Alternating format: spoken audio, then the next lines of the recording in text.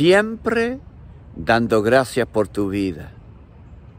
hablando los diseños del Señor Todopoderoso en tus finanzas,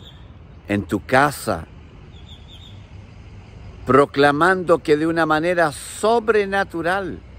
se manifiesta a tu vida Iris, el pastor de los pastores.